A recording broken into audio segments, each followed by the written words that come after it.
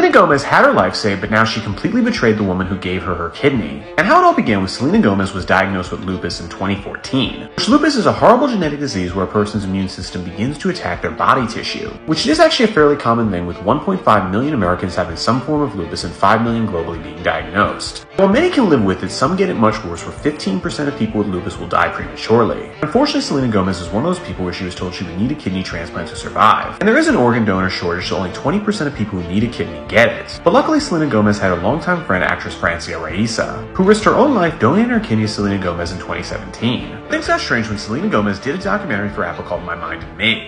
And despite it being a personal documentary, Francia Raisa was never mentioned once. And to make it worse, Selena Gomez posted on Instagram saying Taylor Swift was her only friend in entertainment. When she's asked about Francia Raisa, Selena Gomez just said she forgot, which just means Francia Raisa was ignored because she's a much lower name celebrity than Taylor Swift. So it's definitely a low on Selena Gomez, and with that, I'm Charles Peralo. I hope you learned something.